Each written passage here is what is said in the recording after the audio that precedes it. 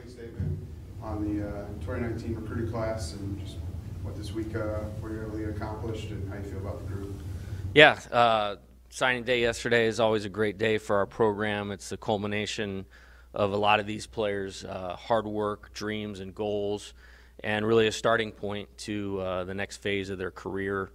Uh, before I get started on that, a couple quick thank yous. Uh, this is a, a campus wide effort. I mean, all the way from Dr. Robbins, our president, was involved in, in this particular recruiting class, um, to all the people in athletics, academic support services, and then really the, the main people I want to thank is our staff, uh, Sergio Brown and Dave Lawn in particular. The amount of work that has gone into putting this group together was um, significant, and uh, we addressed uh, a lot of the needs that we want, mostly on the mound. Uh, 15 players that we feel really good about. Uh, that have a chance to have a immediate impact when you talk about the 2020 season, and then really establish themselves over a long period of time here at uh, Arizona. Um, going through them uh, briefly, uh, each guy. Uh, first one in alphabetical order: Will Bartlett, uh, first baseman, catcher. Uh, goes to IMG Academy in Florida. He lives in California. Actually, Will has got a chance to be a special hitter here. Has really emerged over the last year. Um, you know, good balance of average power, and he also brings a lot of leadership skills to the table, which are very much welcomed within our program. Uh, next one, uh, left-hander Ian Churchill from Santa Barbara City College uh, in California. Uh, had a tremendous summer in the Alaska League this year. Uh, was one of the top prospects in the league, if I'm not mistaken. Um, you know, tremendous pitchability. Uh, Coach Lawn, I got to tip my hat to him. Went up there this summer and got a chance to see Ian, and on that long flight home, said this is somebody we need to add, and we're certainly excited about Ian. Next one is Hunter Cope. Uh, six foot nine, right-handed pitcher. We're gonna have to keep Coach Miller away from him because uh, he's athletic too. So probably be a good post player in basketball. But tremendous ability, fastball up to 95 miles an hour. Uh, really good competitor, really good breaking ball, and uh, limitless potential uh, in Hunter. And I think he'll realize a lot of that here at Arizona. Uh, Hunter Cranton, JSerra High School in California, also has really come into his own over the last few weeks in regards to his development. Um, has really put in some good work and blends uh, another high level arm, fastball up to 93 miles an hour, good breaking ball. And I really believe Hunter uh, his best days are ahead of him. Uh, staying on the mound, staying in Southern California, Andrew Dahlquist, right hander, uh, up to 91 miles an hour, really good slider, uh, terrific athlete, another you know projectable guy that you can see um, the best years are uh, in front of Andrew and has performed well all the way through his high school career um, at Redondo Union. Uh, local guy, Jose Dicachia, another right-handed pitcher. I uh, believe he's one of the best pitchers in the state of Arizona, uh, competing with a couple of the other guys on this list that I'll, I'll mention, but highly, uh, highly competitive uh, guy. Struck out over 100 guys last year in high school in, you know, say 58, 59 innings. So legit put away pitch and, and tremendous arm speed. Uh, another local guy, Herman Fajardo from Nogales, uh, helped them uh, win a state championship last year. Terrific slider. Uh, Coach Lawn, another guy he was really on me about throughout the recruiting cycle this summer to say that this guy needs to be a wildcat. And it took me about five pitches to figure out that, that Coach Lawn was right on that one. So we're happy to have him. You know, when you're adding all this good pitching, uh, the catching position is really important. Uh, we added uh, Caden Hobson uh, from Redlands East Valley High School in, in Redlands, California, left-handed hitting catcher, uh, tremendous catch and throw skills, really emerging as a hitter, uh, very physical-looking um, player. That when you, you look at him behind the plate, you look at that's what a Pac-12 catcher should look like. Blake Klassen left-handed hitting outfielder and first baseman from JSerra High School, also in Southern California. Uh, looks like uh, what I want an Arizona hitter to look like. Uh, has tremendous bat speed, power, really good plate discipline, and one of the best hitters and one of the best high school leagues in the country right now. So we're really excited about Blake.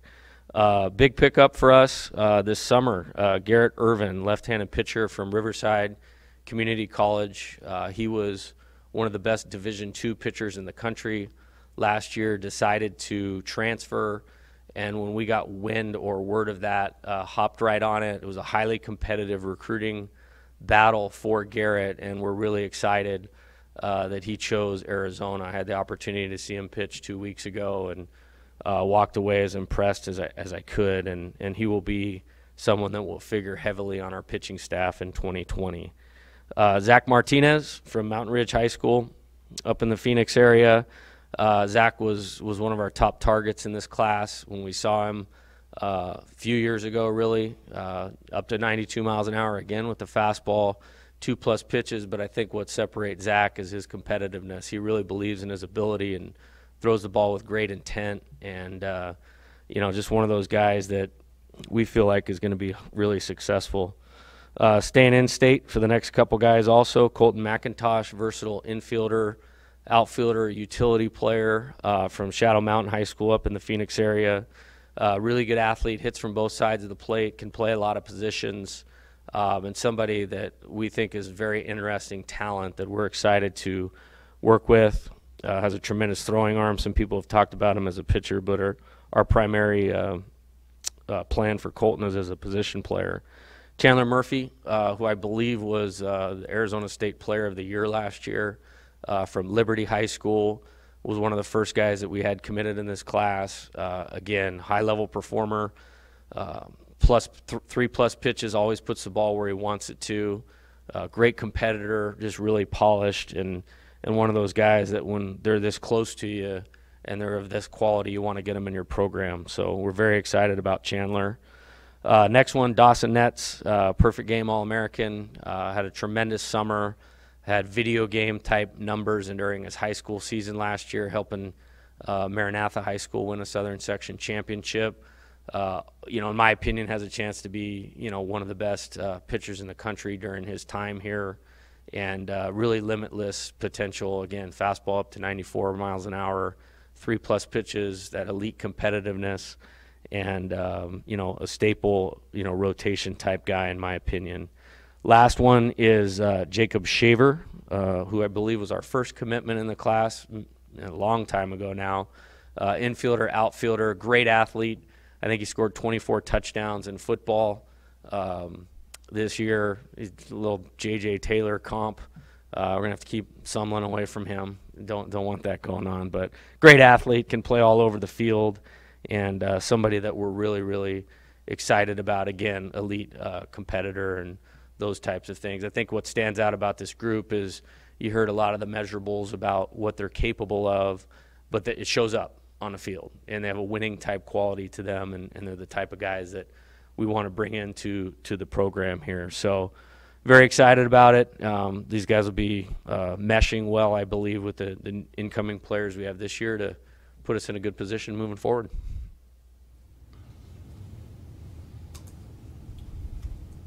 Anyone have any questions? Yeah, there are 10 pitchers. Yep.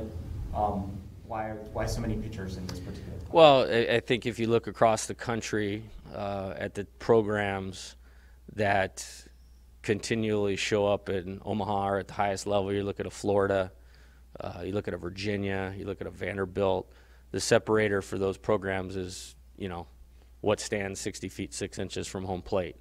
And, you know, each year, I believe we've been able to recruit a higher level pitcher than the previous year. And I think this is a, a big point, of, it was a big point of emphasis for us. Uh, I think how the team meshes looking forward is something that myself and Coach Brown and Coach Lawn are always looking at. I think we have a, a really solid group of young position players that will make an impact on this year's team with a few pitchers as well. And then you merge these guys in with them. Uh, we're just pushing to become more complete, you know, every year that we're here. And I think this pitching group uh, helps us accomplish that. What did you learn in your three, three seasons, I guess, right? Three years in the Pac-12 um, that has kind of shaped your outlook as far as recruiting goes? Well, I think I think it's as highly competitive conference as there is in college baseball. I think the margin between the second place team and the ninth place team is paper thin. And so what we would like to be able to do on the pitching side of it is always put our team in an advantageous matchup, knowing that the games are going to be close, knowing that the margin between winning and losing is really small. The more innings that you're creating an advantage for your team on the mound, the better chance you give yourself of being on the right side of it. And, you know, winning on the road is tough. And uh, talking to people that I respect all the time, the best way to become a better road team is to pitch better. And uh, that's was certainly the goal here.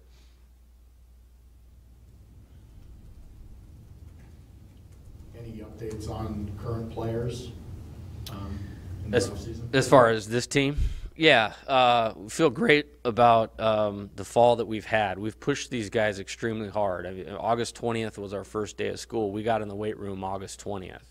Uh, we'll finish our fall practice this weekend uh, with our Wild vs. Cats World Series.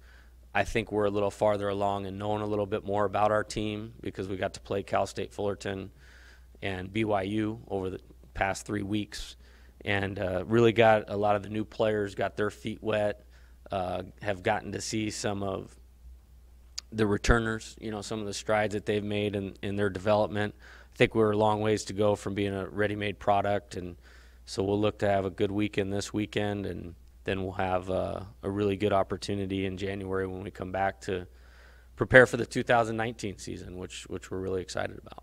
Last year's class, you had the two guys who ended up being first-round picks, and obviously they didn't come here because they were first-round picks. Is there anyone in this class who could possibly ascend to that level? I don't think there's any question about that. And if I, I don't know if I'd put a number on it. I don't think that any of them to date probably have positioned um, themselves the way that, you know, maybe Nolan Gorman did last year Matt Liberatore. At this time, the day we signed those guys, we knew we were probably fighting an uphill battle of, of getting them to campus. I think in this particular group, there's certainly some guys that have the ceiling to ascend to that in the spring. I think we'll get out, we'll do a good job of educating them on the college path uh, to professional baseball, and that those conversations will happen in a lot of in-home meetings in December. I certainly think there's plenty of guys that can. I like the dynamic of the families that uh, we recruited in this group, where I believe college is really important to them, and I can't stress that enough of how much of an impact that makes on the college or the pro decision.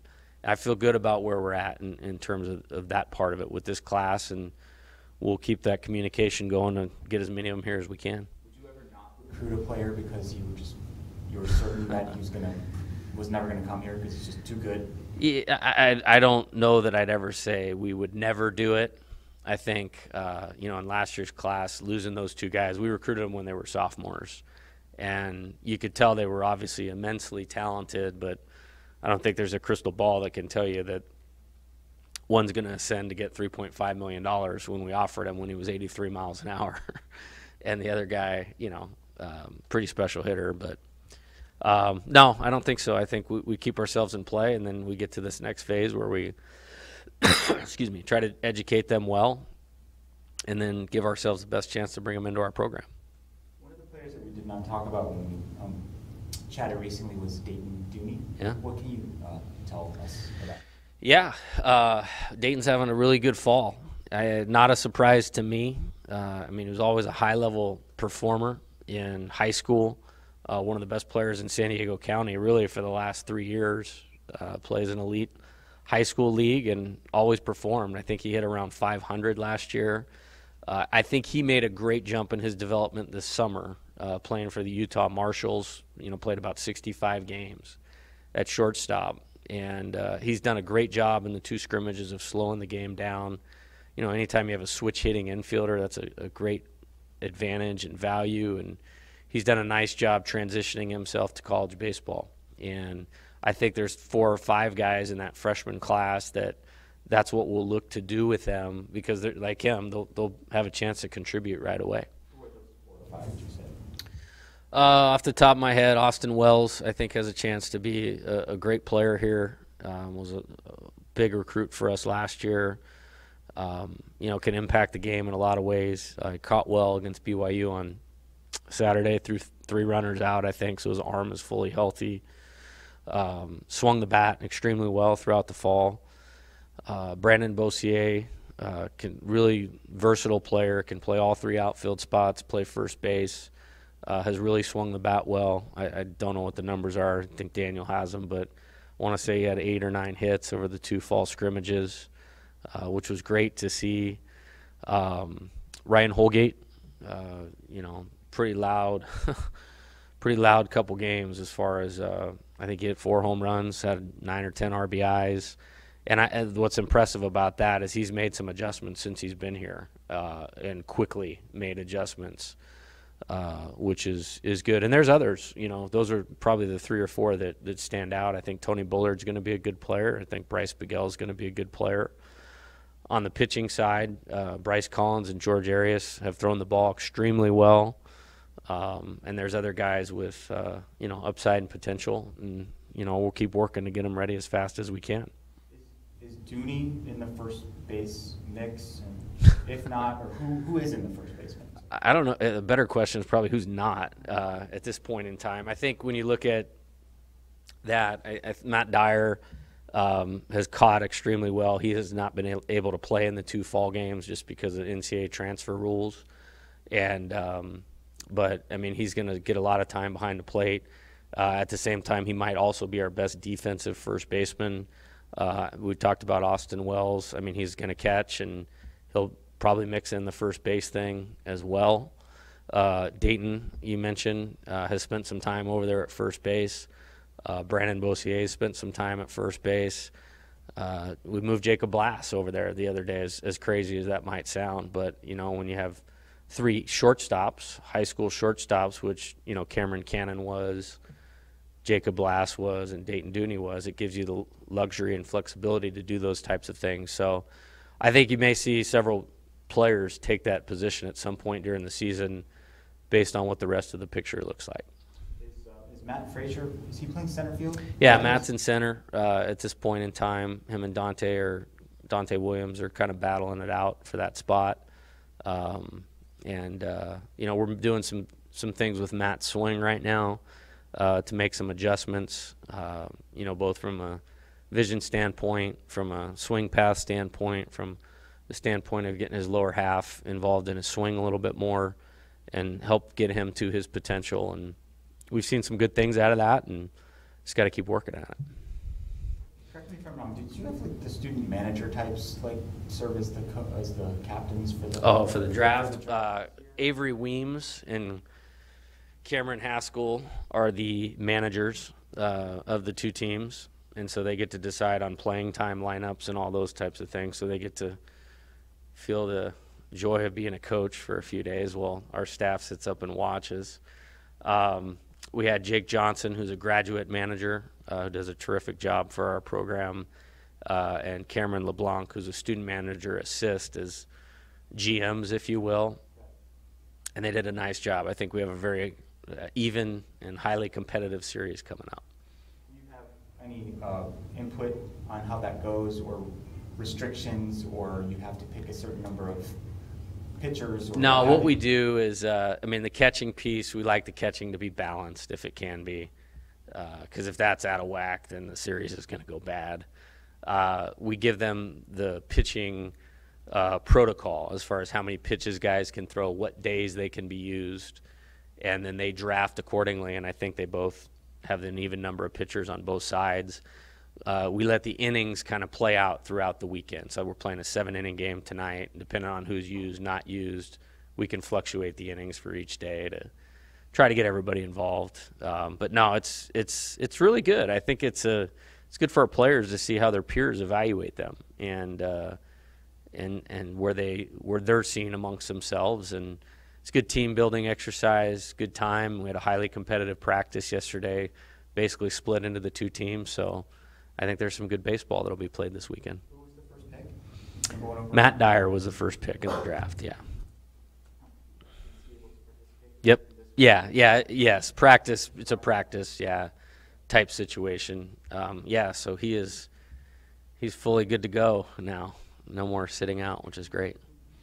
Sitting back as a, as a coach, watching them manage, is it goofy kind of going on? Are they making, having fun with it or are they taking it pretty seriously as managers? Well, I, I think it's a little both. I mean, for for us in this program, competition is the fun part about it, and they want to win. I mean, there's no no bones about that. Uh, but I think it's good for them to be able to make decisions, those types of things, and uh, have a good time. You know, getting after it. We use our point system. You know, focusing on how we win games, and so I think we're set up for a good good couple weekends and you know, Cameron Haskell and Avery did a nice job putting the teams together. Uh, they're organizing their lineups well. They text me a couple times last night. What do you think about this? I said, "We're out of it. This is all you guys." Are they participating also? yes, yeah, yeah. They'll both both pitch this weekend. What does the winning team get? Uh, we will have a uh, very nice uh, dinner, uh, and basically an occasional meal, um, you know, for the winning team. Um, and uh, yeah, pays to be a winner. So. Coach just finally put out our uh, 2019 schedule today, 32 home dates, playing at Houston, at Penn State. Just kind of your thoughts on the competitive schedule for for us. Yeah, I think we got a great 2019 schedule.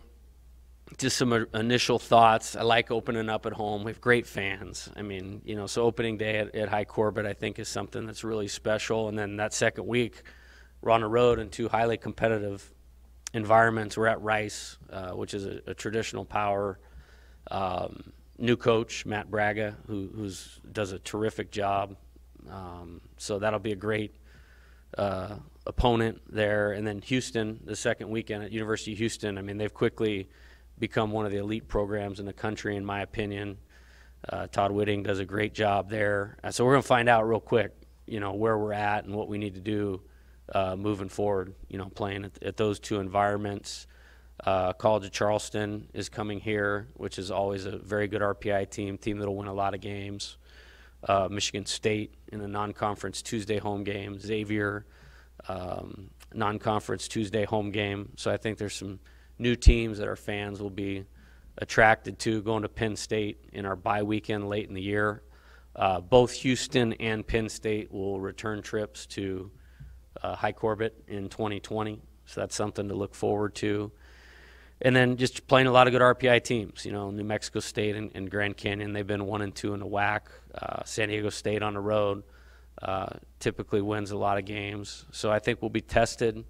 And uh, I'm excited. We have 32 home games. I believe that's the most home games we've had since I've been the coach here. And we've, you know, played pretty well at home. And so that's something that we hope to continue to do, you know, in 2019. All good? Thanks, guys. Coach.